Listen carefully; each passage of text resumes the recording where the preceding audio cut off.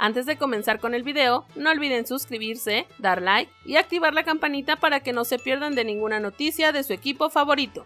Ignacio Geraldino sería la primera baja del Santos Laguna. El futbolista chileno Ignacio Geraldino del conjunto del Santos Laguna dentro de la Liga MX sería la primera baja del equipo al terminar su préstamo con el equipo al término de este torneo Clausura 2022, por lo que no harían válida la opción de compra de su carta. El delantero llegó al conjunto lagunero comandado por el director técnico uruguayo Guillermo Almada, procedente del Atlas de Guadalajara por la vía del préstamo en el pasado torneo Guardianes 2021, pero no logró convencer a los aficionados del equipo. A lo largo de tres temporadas con la playera del equipo Santos Laguna, el atacante Ignacio Geraldino solo logró anotar un gol, siendo este por la vía del penal en la pasada liguilla, por lo que era de los jugadores con los que más se metía la afición en la mala racha del equipo. La campaña anterior no fue la mejor para el delantero chileno al tener constantes lesiones en el torneo Clausura 2022, sumando solo cuatro partidos disputados, además que la llegada del atacante colombiano Harold Preciado le quitó los minutos de juego que sumaba con el Santos Laguna. Chivas confirma amistoso contra Santos en Salt Lake City. Chivas hizo oficial el amistoso que sostendrá el próximo 15 de junio en Salt Lake City,